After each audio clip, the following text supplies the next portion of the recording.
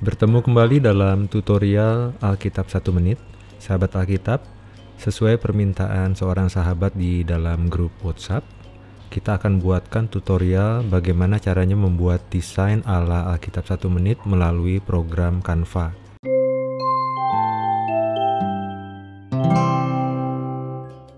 Pertama-tama, buka Google, lalu ketikkan canva.com dan klik Canva. Kalau belum punya akun, daftar dulu akunnya, lalu kemudian sesudah terbuka, klik Instagram Post.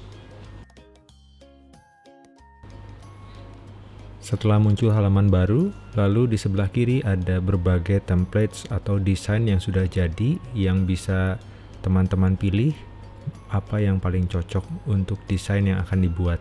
Pilih salah satu, lebih baik pakai yang tulisannya adalah free karena itu berarti gratis. Dan jika ada watermark, teman-teman bisa ganti atau hapus gambar yang berwatermark. Watermark itu ada garis-garis miring dan ada tulisan kanvanya itu tidak baik sekali. Jadi kita hapus dan kemudian ganti dengan gambar yang kita sudah siapkan. Atau cari gambar di sebelah kiri juga.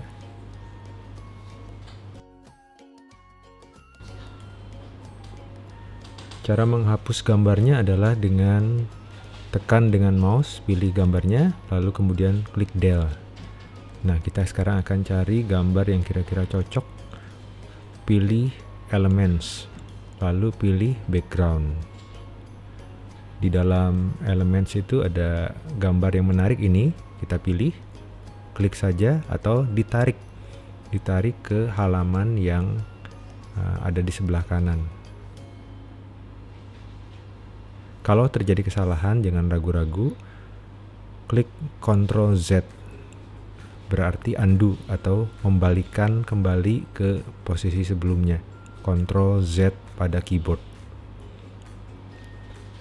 Nah, di sini ada elemen-elemen yang sudah ada, teksnya sudah cukup baik, jadi kita tinggal mengganti isinya.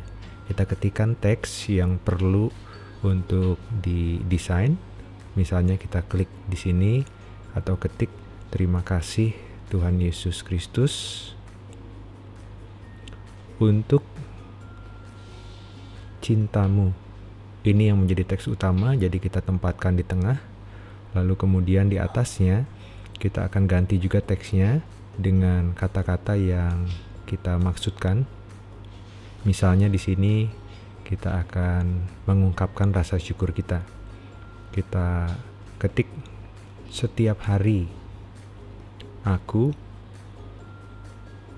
ingin atau kata-kata yang terpikir oleh kita lebih baik ya kita bisa ganti. Aku ingin berkata atau kita ganti di sini dengan kata-kata yang lebih baik.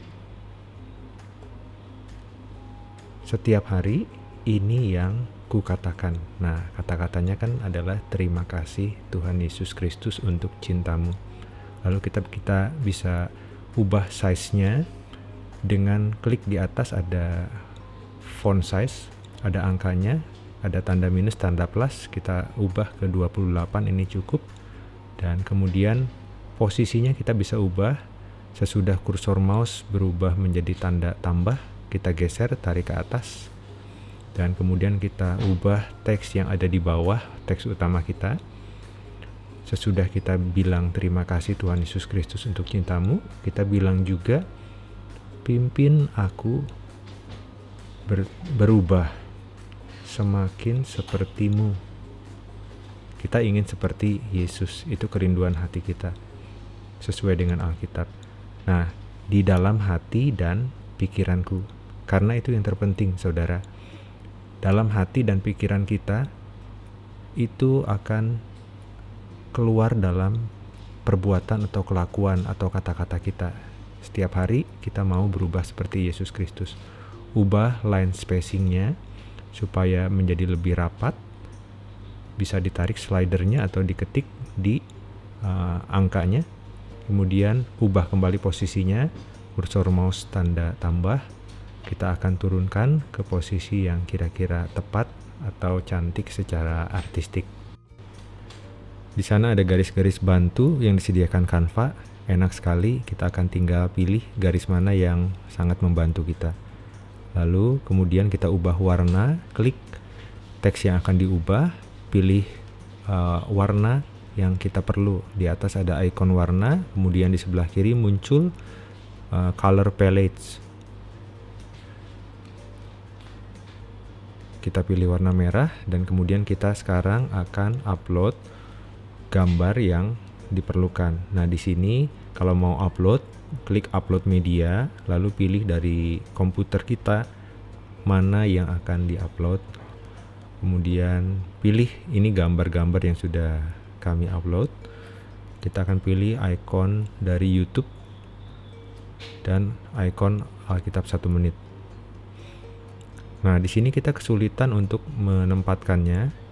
Jangan khawatir, kita akan hapus dulu sementara gambar backgroundnya dengan Ctrl X. Ctrl X itu berarti kita akan cut atau hapus tapi gambarnya disimpan di dalam memori komputer kita.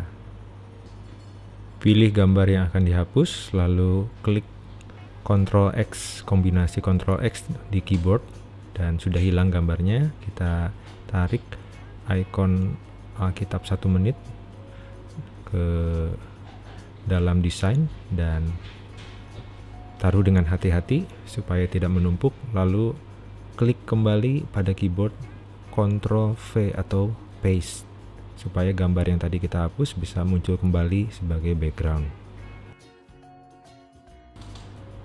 Lakukan proses yang sama untuk icon YouTube yaitu hapus dulu background yang ada klik Ctrl X di background yang uh, biru putih itu. Kemudian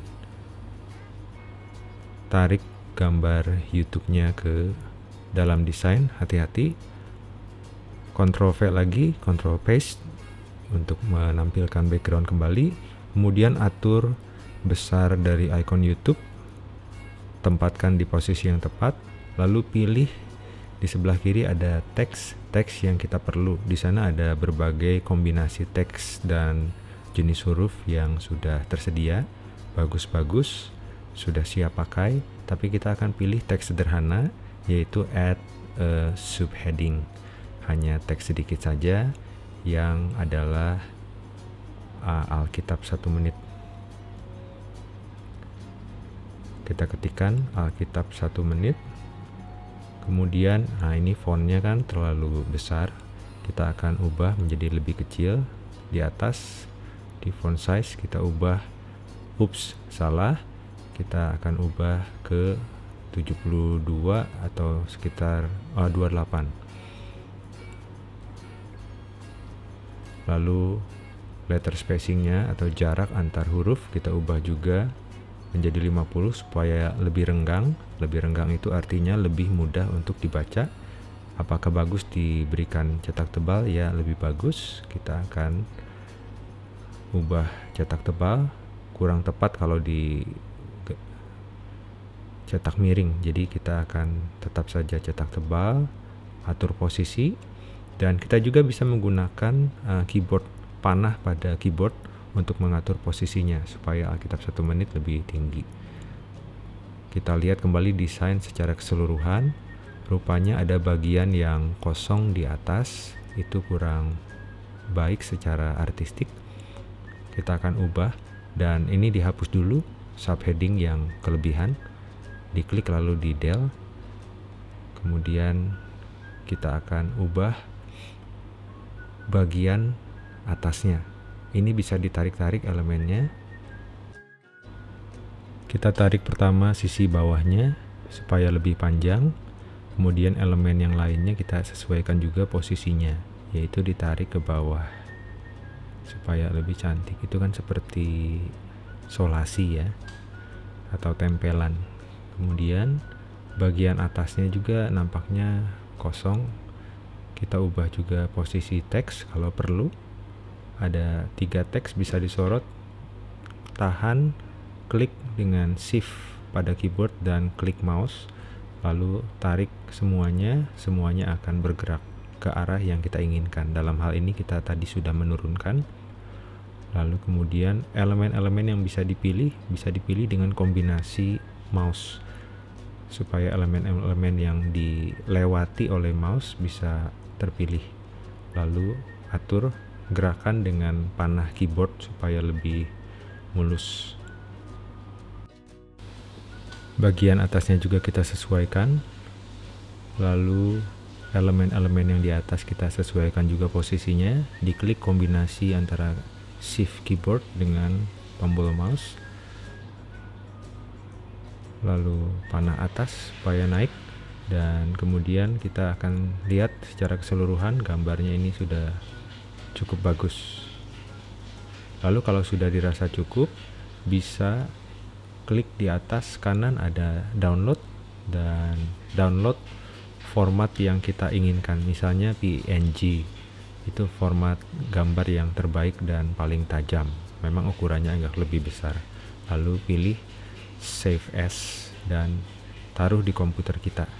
Dan waktu dibuka inilah hasilnya yang sudah kita kerjakan saat ini.